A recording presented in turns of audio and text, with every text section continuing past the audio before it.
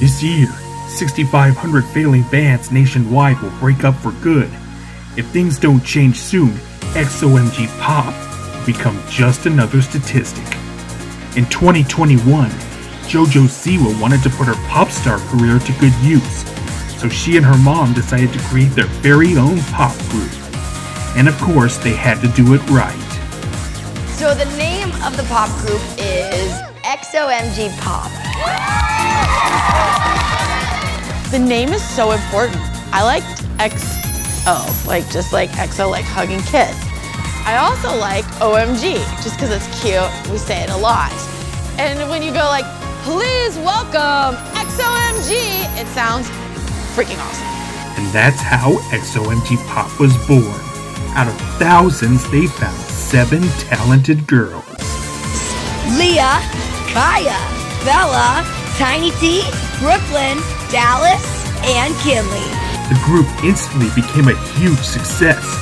Their community grew substantially on Instagram. The next number one pop group will be XOMG Pop. All six of you are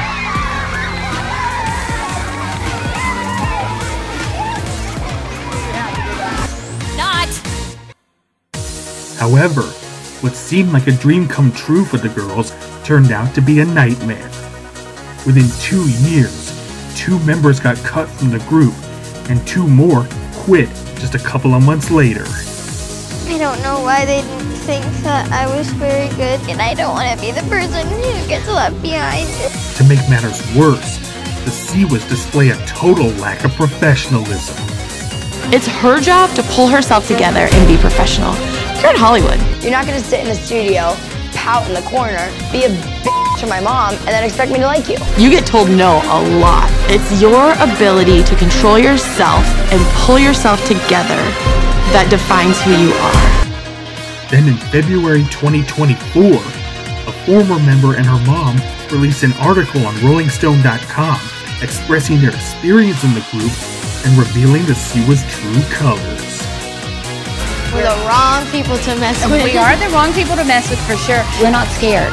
Come on, we're ready for you because we're practiced, we're costumed, we're highlighted, we're glitz, and we're ready to go. Even then, JoJo and Jessalynn continue to maintain innocence. I will not tolerate my mom being treated bad. Ever.